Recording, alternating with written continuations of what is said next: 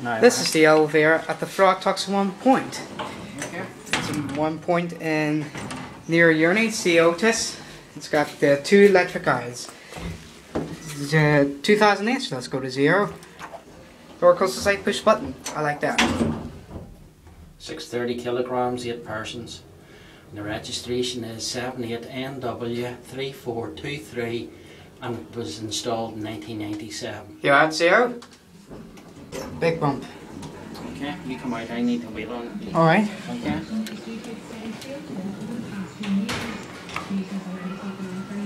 There goes and. And that's it.